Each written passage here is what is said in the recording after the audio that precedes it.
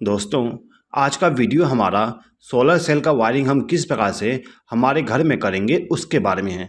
दोस्तों, यहाँ पे आप एक सोलर सेल देख रहे हैं। यहाँ पे जो हमने सोलर सेल का इस्तेमाल किए थे, यदि ये 12 बोल्ट का है तो यहाँ पे जो हम बैटरी का इस्तेमाल करेंगे, वो भी हमारा 12 बोल्ट का बैटरी होगा। ठीक है दोस्तों? यहाँ पे जो हमारा बैटरी होगा, उसका रेटिंग, यानी कि वोल्टेज हमारा सोलर सेल के बराबर होना चाहिए। दोस्तों ये जो हमारा सोलर सेल है, इसको यदि हमें इस बैटरी को चार्ज करने के लिए इस्तेमाल करना है तो यहाँ पे हम डायरेक्ट कनेक्शन नहीं करते हैं।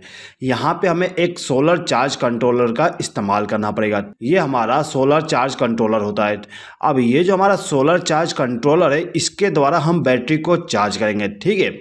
अब ये जो हमारा सोलर चार्ज कंट्रोलर है, इसको इनपुट पावर सप्लाई देने के लिए हम इस सोलर सेल का इस्तेमाल करेंगे। तो इसके लिए हम क्या करते हैं कि ये जो हमारा सोलर सेल है, इसका जो पॉजिटिव टर्मिनल होती है, वहाँ से एक वायर को कनेक्ट करके लाएँगे। और जो हमारा सोलर चार्ज कंट्रोलर होती है, उसका जो पहला टर्मिनल होता है, यानी कि ये वाली टर्मिनल इस टर्मिनल पे हम वायर को कनेक्ट कर देते हैं। ये जो हमारा पहला टर्मिनल होती है, इस टर्मिनल पे हम सोलर सेल का जो पॉजिटिव वायर होती है, उसको कनेक्ट करते हैं। ठीक है दोस्तों? अब ये जो हमारा सोलर सेल है, इसका जो नेगेटिव वायर है, उसको हम ले जाके इस दूसरे वाले टर्मिनल पे कनेक्ट कर देंगे। ये हमारा नेगेटिव टर्मिनल हो जाएगा। अब यहाँ पर हमने इसका कनेक्शन कर दिया। तो यहाँ पे जो हमारा सोलर चार्ज कंट्रोलर था, इसको इनपुट पावर सप्लाई मिल गया सोलर सेल के द्वारा। ठीक है दोस्तों?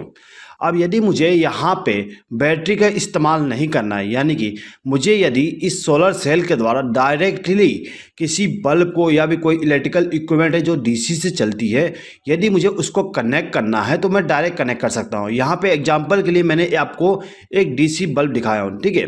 अब यदि मुझे इस डीसी बल्ब को डायरेक्ट कनेक्ट करना है इसके द्वारा, यहाँ पे बैटरी का इस्तेमाल बैकअप के लिए किया जा रहा है। तो यहाँ पे मैं बैकअप का इस्तेमाल नहीं करना चाह रहा हूँ तो मैं क्या करूँगा? यहाँ पे जो हमारा सोलर चार्ज चार्ज कंट्रोलर था, इसका जो दो लास्ट टर्मिनल है, यानी कि ये वाली टर्मिनल ये वाली पॉजिटिव टर्मिनल होती है और ये नेगेटिव टर्मिनल होती है। ये आउटपुट पावर सप्लाई होती है डीसी के लिए, ठीक है दोस्तों? तो मैं क्या करूँगा, यहाँ से एक बार को कनेक्ट करूँगा और इसको ले जाके हमारा जो बल्ब है, उसको पॉजिटिव सप्लाई दे दूँगा। इसी प्रकार से ये जो दूसरा टर्मिनल है, यहाँ से एक बार को कनेक्ट करके लेके जाऊँगा और इसको क्या करूँगा बल्ब को नेगेटिव सप्लाई दे दूँगा। ठीक है दोस्तों, अब यदि मैं इस प्रकार से कनेक्शन करता हूँ तो यहाँ पे जो हमारा सोलर सेल का आउटपुट वोल्टेज मिलता है, वो सीधे ही इस बल्ब को मिल जाएगा, जिससे जितने टाइम ये हमारा सोलर सेल वोल्टेज को प्रोड्यूस करेगा, उतने टाइम हमारा बल्ब ग्लो करेगा। लेकिन यदि रात होती है तो ये रात में हमारा जो बल्ब है, वो ऑफ़ हो जाएगी, क्योंकि रात में हमारा जो सोलर सेल होती है वह काम नहीं करता। दोस्तों, आपके मन में एक सवाल आ रहा होगा कि यहाँ पर हम सोलर चार्ज कंट्रोलर का इस्तेमाल क्यों कर रहे हैं? दोस्तों देखिए, यहाँ पे हम सोलर चार्ज कंट्रोलर का इस्तेमाल इसलिए कर रहे हैं क्योंकि यहाँ पे जो हमारा सोलर सेल होता है वो दिन के समय में अलग अलग वोल्टेज को प्रोड्यूस करता है। यानी कि यदि हमारा जो धूप है, यानी कि सनलाइट है, वो नॉर्मल कंडीशन में तो ये जो हमारा सोलर सेल है, वो 12 वोल्ट प्रोड्यूस करेगा। लेकिन यदि हमारा जो धूप है, वो करेक्टी धूप है तो उस कंडीशन में ये जो सोलर सेल है, वो ज़्यादा वोल्टेज प्रोड्यूस करेगा। आपको यहाँ पर मैं बता दूँ कि ये जो हमारा सोलर सेल है, ये बीस वोल्ट तक वोल्टेज को प्रोड्यूस कर सकता है। अब यदि मैं इसको डायरेक्ट बीस वोल्ट दे दूँ तो हमारा जो बैटरी है, वो डैमेज हो सकता है, या फिर जो इक्विपमेंट हम कनेक्ट करेंगे, वो भी डैमेज हो सकता है। इसलिए यहाँ पे हमें सोलर चार्ज कंट्रोलर का इस्तेमाल करना पड़ेगा। ये जो सोलर चार्ज कंट्रोलर है, वो वोल्टेज को नियंत्रित करेगा, यानी कि आउटपुट वोल्टेज जो देगा, वो कॉन्स्टेंट वोल्टेज देगा। ठीक है दोस्तों?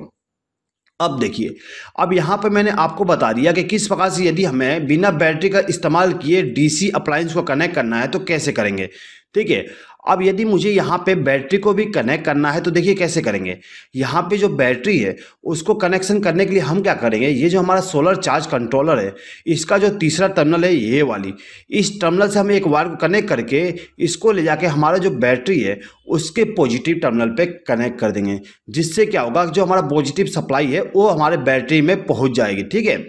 अब ये जो हमारा फोर्थ नंबर का टर्मिनल है, ये हमारा नेगेटिव सप्लाई होती है, ठीक है? तो यहाँ से मैं एक वायर को कनेक्ट करके के ले जाके हमारा जो बैटरी है, उसको नेगेटिव सप्लाई दे दूँगा। तो यहाँ पे हमने कनेक्शन कर दिए। ठीक है दोस्तों? तो यहाँ पे हमारा जो सोलर चार्ज कंट्रोलर था, उसमें जितने भी कनेक्शन करने थे, वो कंप्लीट हो गया। अब दोस्तों, यदि आप इस प्रकार से कनेक्शन करते हो तो आपका जो सोलर सेल है, वो यदि धूप में है, यानी कि वोल्टेज को प्रोड्यूस कर रहा है तो क्या होगा? यहाँ पर जो हमारा सोलर चार्ज कंट्रोलर है, वो इस बैटरी को भी चार्ज करेगा और कुछ हिस्सा इस बल्ब को देगा, जिससे कि ये जो बल्ब है, वो ग्लो करेगा। अब यदि ये जो बल्ब है उसका लोड ज़्यादा है इस सोलर सेल से। तो उस कंडीशन में क्या होगा? हमारा बैटरी चार्ज नहीं होगा। जितने भी पावर सप्लाई प्रोड्यूस होगा, वो सीधे इस आउटपुट में चली जाएगी, ठीक है? अब यदि हमारा जो आउटपुट लोड यानी कि लोड जो हम कनेक्ट किए हैं यहाँ पे, वो यदि कम है तो उस कंडीशन में हमारा बैटरी चार्ज होती है, ठीक है दोस्तों? यहाँ पे आप लोड कनेक्ट करने से पहले आपको ये मालूम होना चाहिए कि आपका जो सोलर सेल है, वो कितने वाट का है? और उस वाट के हिसाब से हम यहाँ पर लोड को भी कनेक्ट करते हैं, ठीक है दोस्तों? अब दोस्तों देखिए, हमारे घर में डीसी अप्लायंस बहुत ही कम इस्तेमाल करते हैं। हमारे घरों में सबसे ज़्यादा तो एसी अप्लायंस होती है, यानी कि एसी लोड होता है। ठीक है दोस्तों? तो यहाँ पे मैंने एग्जांपल के लिए एक पंखा और दो एलईडी बल्ब ले लिया हूँ। ठीक है दोस्तों? दोस्तों देखिए, ये जो हमारा पंखा और दो एलईडी बल्ब है, इसको चालू और बंद करने के लिए यहाँ पर मैं एक स्विच बोर्ड का इस्तेमाल करूँगा। तो ये हमारा स्विच बोर्ड हो जाएगा। ठीक है दोस्तों? इसी स्विच बोर्ड के द्वारा हम इनको कंट्रोल करेंगे। अब दोस्तों देखिए, ये जो हमारा पंखा है और जो एलईडी बल्ब है, ये एसी सप्लाई से चलने वाली है। ठीक है दोस्तों? और यहाँ पे हमारे पास एक बैटरी है। आपको मालूम ही होगा बैटरी डीसी सप्लाई देता है। तो यहाँ पे हमें डीसी सप्लाई को एसी में कन्वर्ट करना पड़ेगा। तो एसी में कन्वर्ट करने के लिए यहाँ पर हम एक इन्वर्टर का इस्तेमाल करेंगे। ठीक है दोस्तों? तो ये हमारा इन्वर्टर हो जाएगा। इसके द्वारा हम डीसी सप्लाई को एसी में कन्वर्ट करेंगे। तो ये जो हमारा इन्वर्टर है, वो सिंपल इन्वर्टर है। ठीक है? यहाँ पे आपको सोलर इन्वर्टर भी मिल जाएगा। यदि आप सोलर इन्वर्टर का इस्तेमाल कर रहे हैं तो आपको ये सोलर चार्ज कंट्रोलर का इस्तेमाल करने की ज़रूरत नहीं पड़ता है। ठीक है दोस्तों? यहाँ पर मैंने नॉर्मल इन्वर्टर का इस्तेमाल किया इसलिए आपको सोलर चार्ज कंट्रोलर का इस्तेमाल करना पड़ेगा। दोस्तों, ये जो हमारा इन्वर्टर है, इसमें आपको तीन केबल दिख रहे होंगे। एक तो ये रेड वाला केबल दूसरा ये ब्लैक वाली और ये एक इनपुट पावर सप्लाई के लिए केबल होता है, ठीक है? तो कुल मिला के इन्वर्टर में तीन केबल है। अब ये जो हमारा इन्वर्टर का रेड केबल है, इस केबल को हमें बैटरी के पॉजिटिव टर्मिनल के साथ कनेक्ट करना होता है। तो यहाँ पर हमने इसको कनेक्ट कर दिया। अब ये जो ब्लैक केबल है, इसको हम बैटरी के नेगेटिव टर्मिनल के साथ कनेक्ट कर देंगे, ठीक है? जिससे क्या होगा, हमारा जो इन्वर्टर है, उसको इनपुट पावर सप्लाई बैटरी के द्वारा मिल जाएगा। जाएगा। अब हमारा जो इन्वर्टर था, उसको हमने इनपुट पावर सप्लाई दे दिया बैटरी के द्वारा। दोस्तों, ये जो हमारा इन्वर्टर है, वो आउटपुट पावर सप्लाई इस सॉकेट में देता है। अब यदि मुझे इस लोड को इस इन्वर्टर के साथ कनेक्ट करना है तो यहाँ से हमें पावर सप्लाई लेना पड़ेगा। तो यहाँ से पावर सप्लाई लेने के लिए मैं एक प्लग टॉप का इस्तेमाल करूँगा। ठीक है दोस्तों? ये हमारा प्लग टॉप हो जाएगा। अब इस प्लग टॉप के द्वारा ही हम इस अप्लायंस को कनेक्ट करेंगे। दोस्तों, ये जो हमारा फ़ैन और बल्ब है, इनको हम डायरेक्ट पावर सप्लाई यहाँ से ले जाके कनेक्ट नहीं क्योंकि ये जो हमारा अप्लायंस है, उसको कंट्रोल करने के लिए यहाँ पर हमने एक स्विच बोर्ड का इस्तेमाल किए थे। तो यहाँ से जो हमारा प्लग टॉप है, उसमें से एक वायर को कनेक्ट करेंगे और इसको ले जाके हमारा जो स्विच बोर्ड है, उसके किसी भी एक स्विच के साथ कनेक्ट कर देंगे। ठीक है दोस्तों? जिससे क्या हुआ, ये जो हमारा स्विच बोर्ड है, इसमें फेस सप्लाई आ जाएगी इन्वर्टर के द्वारा। ठीक है दोस्तों? अब दोस्तों, एक चीज़ हमेशा याद रखिएगा। यहाँ पे आपका जो प्लग टॉप है, उसका जो दाहिना पिन है, उस दाहिने पिन पे आपको फेस सप्लाई मिलता है। ठीक है? तो ये जो दाहिना पिन है, इस पिन पे आपको फेस वाली वायर को कनेक्ट करना है। ठीक है दोस्तों? अब यहाँ पर मैंने इस स्विच बोर्ड में ये जो हमारा स्विच है, इसको इनपुट पावर सप्लाई मिल गया। अब ये जो स्विच है, इस स्विच का इस्तेमाल मैं इस फ़ैन के लिए करूँगा। यानी कि इस फ़ैन को यदि मुझे चालू करना है तो इस स्विच को प्रेस करके चालू करूँगा। लेकिन ये जो हमारा फ़ैन है, इसके स्पीड को भी मुझे कंट्रोल करना है। तो उसके लिए मैंने यहाँ पे एक रेगुलेटर लगाया हूँ। तो इस फ़ैन को कंट्रोल करने के लिए रेगुलेटर का भी इस्तेमाल करूँगा। ठीक है दोस्तों? तो दोस्तों, इसके लिए मैं क्या करूँगा? ये जो हमारा स्विच है, इसके आउटपुट टर्मिनल से एक वायर को कनेक्ट करूँगा और इसको ले जाके हमारा जो रेगुलेटर है, उसको इनपुट पावर सप्लाई दे दूँगा। दोस्तों, ये जो हमारा रेगुलेटर है, इसके आउटपुट टर्मिनल से एक वायर को कनेक्ट करूँगा और इसको ले जाके हमारा जो फ़ैन है, उसको इनपुट पावर सप्लाई दे दूँगा, यानी कि फेस सप्लाई दे दूँगा। अब दोस्तों देखिए, ये जो मेरा सॉकेट है, इसको कंट्रोल करने के लिए मैं इस स्विच का इस्तेमाल करूँगा, ठीक है? तो इस स्विच को इनपुट पावर सप्लाई देने के लिए मैं क्या करूँगा, यहाँ से एक वायर को लूप करके इस स्विच को इनपुट पावर सप्लाई दे दूँगा। अब ये जो हमारा स्विच है, इसके आउटपुट टर्मिनल से एक वायर को कनेक्ट करूँगा और इसको लेके हमारा जो सॉकेट है, उसके दाहिने वाले पिन के साथ कनेक्ट कर दूँगा। ठीक है दोस्तों? तो यहाँ पे हमारा जो सॉकेट था, उसको फेस सप्लाई मिल गया। अब दोस्तों देखिए, ये जो हमारा बल्ब है, ये वाली, इस बल्ब को कंट्रोल करने के लिए मैं इस स्विच का इस्तेमाल करूँगा। तो इस स्विच की तरह हम कैसे इस बल्ब को कंट्रोल करेंगे, देख लीजिए। ये जो स्विच है, इसको इनपुट पावर सप्लाई देने के लिए यहाँ से एक वायर को कनेक्ट करूँगा और ये जो स्विच है, इसके इनकमिंग टर्मिनल पर कनेक्ट कर दूँगा। अब ये जो हमारा स्विच है, इसके आउटगोइंग टर्मिनल से एक वायर को कनेक्ट करूँगा और इसको ले आके हमारा जो बल्ब है, उसको फेस सप्लाई दे दूँगा। ठीक है दोस्तों? अब दोस्तों देखिए, ये जो हमारा दूसरा बल्ब है, इसको कंट्रोल करने के लिए इस स्विच का इस्तेमाल करूँगा। तो इसको भी सेम कनेक्शन करूँगा। यहाँ से एक वायर को कनेक्ट करके इस स्विच को इनपुट पावर सप्लाई दे दूँगा और इसके ऑर्गोइन टर्मिनल से एक वायर को कनेक्ट करके इस बल्ब को हम फेस सप्लाई दे देंगे।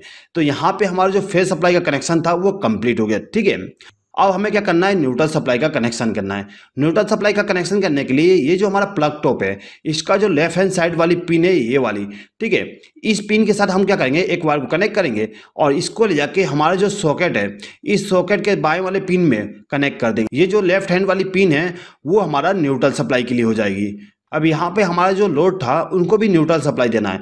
तो इनको न्यूट्रल सप्लाई देने के लिए मैं यहाँ से एक वायर को लूप करूँगा और इसको ले जाके हमारा जो फ़ैन है उसको न्यूट्रल सप्लाई दे दूँगा। ठीक है दोस्तों? अब यहाँ पे जो हमारा बल्ब है, उनको भी न्यूट्रल सप्लाई देना है तो उसके लिए यहाँ से एक वायर को लूप करूँगा और इन दोनों बल्ब को न्यूट्रल सप्लाई दे दूँगा। अब दोस्तों देखिए, ये जो हमारा सॉकेट है, इस सॉकेट में एक और पिन दिख रहा हुआ है ये मोटा वाला पिन इस मोटे पिन में हमें अर्थ कनेक्ट करना होता है। तो यहाँ से मैंने एक वायर को कनेक्ट करके लाया और इसको इस टर्मिनल पे कनेक्ट कर दिया। दोस्तों, ये जो वायर है, वो अर्थिंग के द्वारा कनेक्ट हो रही है। अर्थिंग हम क्या करते हैं, बिजली के खंभे से लेके आते हैं या फिर हमारे घर में एक रोड को, ज़मीन के अंदर गाड़ के अर्थ को कनेक्ट करते हैं। अब दोस्तों देखिए, ये जो हमने यहाँ पे इन्वर्टर का इस्तेमाल किए थे, इस इन्वर्टर में एक और एडिशनल बेनिफिट है। क्या एडिशनल बेनिफिट है दोस्तों, देख लीजिए।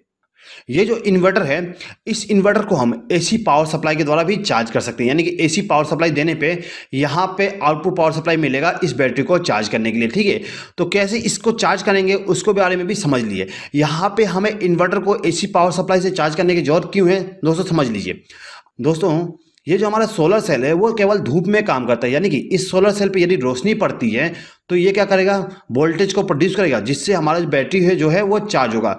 अब यदि हमारा जो सीज़न है, वो बरसात का या फिर ठंड का मौसम है तो उस बरसात के मौसम में या फिर ठंड के मौसम में क्या होता है? धूप बहुत कम निकलता है, जिसके कारण से हमारा जो बैटरी है, वो अच्छे से चार्ज नहीं हो पाता। उस कंडीशन में हमें इस बैटरी को चार्ज करने के लिए एसी पावर सप्लाई की ज़रूरत पड़ेगा। ठीक है? तो यहाँ पे मैं आपको बता देता हूँ कि कैसे चार्ज करोगे, ठीक है दोस्तों? तो दोस्तों, ये जो हमारा इन्वर्टर है, इसको एसी पावर सप्लाई द्वारा चार्ज करने के लिए यहाँ पर हम एक सॉकेट का इस्तेमाल करेंगे, ठीक है? दोस्तों, ये जो सॉकेट है, इस सॉकेट को इनपुट पावर सप्लाई देने के लिए यहाँ पर मैं एक एमसीबी का इस्तेमाल करूँगा। अब ये जो हमारा एमसीबी है, इस एम में जो इनपुट पावर सप्लाई होगा, वो मेन पावर सप्लाई होगा। यानी कि जो बिजली के खंभे से पावर सप्लाई आती है, उसको हम देंगे। ये जो हमारा एमसीबी था, उसके एक टर्मिनल पर मैंने फेस सप्लाई कनेक्ट कर दिया और दूसरे टर्मिनल पर न्यूट्रल सप्लाई सप्लाई कनेक्ट कर दिया। अब ये जो हमारा एमसीबी है, इसके आउटगोइंग टर्मिनल से मैं क्या करूँगा? न्यूट्रल सप्लाई को कनेक्ट करूँगा और इसको ले जाके हमारा जो सॉकेट है, उसको न्यूट्रल सप्लाई दे दूँगा, ठीक है? अब यहाँ पर जो हमारा फेस वाली टर्मिनल है, उसमें से एक वायर को कनेक्ट करूँगा और इसको ले जाके ये जो हमारा स्विच है, इसको इनपुट पावर सप्लाई दे दूँगा। अब मैं क्या करूँगा? ये जो हमारा स्विच है, इसके द्वारा मैं इस सॉकेट को कंट्रोल करूँगा। तो उसके लिए क्या करूँगा? यहाँ से आउटपुट सप्लाई से एक वायर को कनेक्ट करूँगा, इस सॉकेट को फेस सप्लाई दे दूँगा। दोस्तों, यहाँ पे जो कनेक्शन था, मैंने उल्टा कर दिया हूँ। यानी कि फेस सप्लाई को मैंने बाएँ वाले पिन पे कनेक्ट कर दिया और न्यूट्रल सप्लाई को दाएँ वाले पिन पे। यहाँ पे मैंने कनेक्शन इसलिए उल्टा किया क्योंकि यहाँ पे मुझे प्लग टॉप का भी कनेक्शन दिखाना है। अब यहाँ पे मैं प्लग टॉप को लेके आऊँगा तो यहाँ पे वायरिंग जो है वो उसको अच्छे तरीके से शो नहीं कर पाऊँगा। इसलिए मैंने यहाँ पे कनेक्शन को थोड़ा उल्टा दिखा दिया। ठीक है, इससे कोई प्रॉब्लम नहीं होता, लेकिन कनेक्शन आप सही करिएगा। ठीक है दोस्तों, अब दोस्तों देखिए, ये जो हमारा सॉकेट है, इस सॉकेट का जो मोटा वाला पिन होता है, मोटे वाले पिन पे हमें अर्थ को कनेक्ट करना होता है। तो उसके लिए मैं क्या करूँगा, यहाँ से एक वायर को कनेक्ट करूँगा और इसको ले इस मोटे वाले पिन के साथ कनेक्ट कर दूँगा, जिससे क्या होगा इस मोटे वाले पिन को अर्थ मिल जाएगा। ठीक है दोस्तों? तो यहाँ पे हमारा जो पावर सॉकेट था, उसका कनेक्शन कंप्लीट हो गया है। अब मुझे क्या करना है? इस सॉकेट के द्वारा इस इन्वर्टर को इनपुट पावर सप्लाई देना यानी कि चार्जिंग के लिए इनपुट पावर सप्लाई देना है। तो उसके लिए मैं क्या करूँगा? यहाँ पे एक प्लग टॉप का इस्तेमाल करूँगा। इस प्लग टॉप के द्वारा मैं इसको इनपुट पावर सप्लाई दूँगा। अब दोस्तों देखिए, ये जो केबल है, यानी कि चार्जिंग वाली जो केबल है, उस केबल को मैं क्या करता हूँ? एक वायर को कनेक्ट करके लाऊँगा और इस प्लग टॉप के साथ कनेक्शन कर दूँगा। दोस्तों, यहाँ पे मैं प्लग टॉप का कनेक्शन आपको एक्सप्लेन नहीं करूँगा, क्योंकि आपको प्लग टॉप का कनेक्शन आता ही होगा। दोस्तों, यहाँ पे जो हमारा वायरिंग था वो कंप्लीट हो गया। दोस्तों, यहाँ पे एक चीज़ समझ लीजिए। दोस्तों, ये जो हमारा सॉकेट है, उसको हमेशा चालू करके ना रखिएगा। यहाँ पे चालू करके इसलिए नहीं रखिएगा, क्योंकि यहाँ पे यदि इसको चालू करके रखते हैं तो ये जो हमारा इन्वर्टर है, वो पावर सप्लाई यहाँ से लेके डायरेक्ट पावर सप्लाई चार्जिंग के लिए इस बैटरी को देगा। जिससे क्या होगा, यहाँ पे हमारा जो सोलर सेल था, वो भी इसको चार्ज करेगा बैटरी को, और यहाँ से भी चार्जिंग वोल्टेज मिलेगा, जिससे ये जो बैटरी है, वो हमारा ख़राब हो सकता है, ठीक है? हम इस प्लग टॉप का इस्तेमाल उसी टाइम करेंगे जब हमारा जो सोलर सेल है वो वर्क ना करे। यानी कि यहाँ पे जो हमारा प्लग टॉप है, उसका इस्तेमाल हम केवल बरसात के टाइम पे या फिर ठंड के टाइम पे करेंगे जब हमारा सोलर सेल वर्क ना कर रहा हो। ठीक है दोस्तों? हमें केवल एक टाइम पे एक ही चार्जिंग इनपुट का इस्तेमाल करना है। ठीक है दोस्तों? तो दोस्तों आई होप कि आपको ये वीडियो पसंद आया होगा। दोस्तों, यदि आपको ये वीडियो पसंद आया तो प्लीज़ इस वीडियो पर लाइक शेयर और कमेंट कर दीजिएगा। और यदि अभी तक आपने हमारे चैनल को सब्सक्राइब नहीं किया तो सब्सक्राइब भी कर लीजिएगा। इस वीडियो को देखने के लिए धन्यवाद।